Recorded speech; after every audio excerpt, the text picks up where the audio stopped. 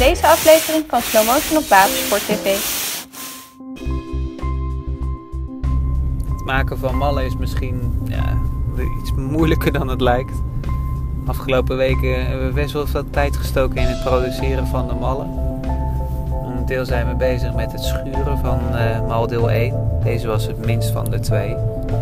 Hierbij plamuren we en schuren we het oppervlak, zodat er zo'n glad mogelijk oppervlak ontstaat waar we na de hand nog een keer glas kunnen toevoegen. En uiteindelijk zo een mooi maldeel kunnen trekken.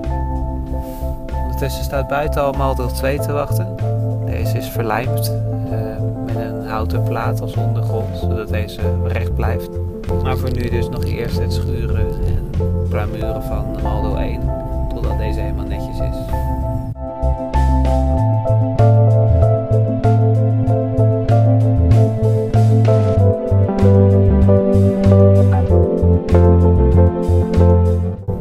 Hier het einde van de week klaar mee te zijn, zodat we direct kunnen beginnen aan Maldeel 2.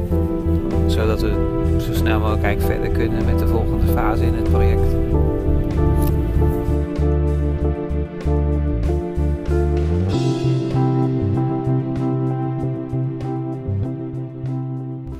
Benieuwd hoe het project verder gaat? Kijk de volgende keer naar Slow Motion op Watersport TV en abonneer je op het kanaal.